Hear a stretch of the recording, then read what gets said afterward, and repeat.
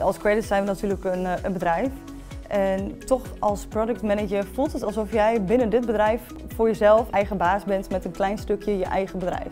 Want je houdt je dus bezig met, uh, met de onderwijsprogramma's, maar ook met de trainingen. Daar is gewoon heel erg veel ruimte om dingen door te ontwikkelen. En daardoor voelt het eigenlijk zelf alsof je ook aan het ondernemen bent voor je eigen product.